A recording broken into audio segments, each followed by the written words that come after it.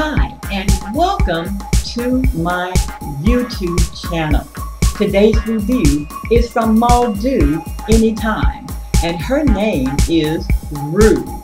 Now, Rue is a short length, finger-sized spring curl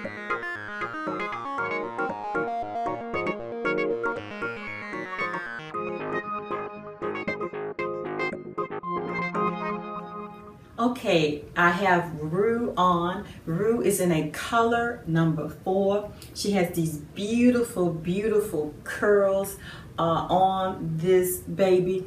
Even though I notice uh, in this color number four that it's a little darker uh, than my other color number fours, but I'm liking it. Rue is do a 360, okay?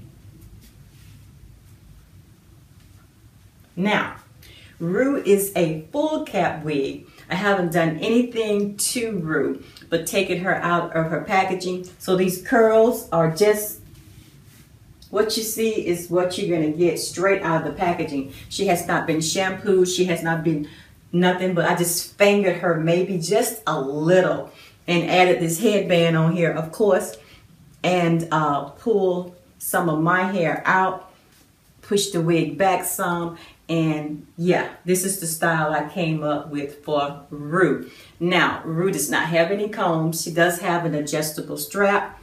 Uh, she's a full cap wig. She's curly, she's bouncy, she's beautiful, right?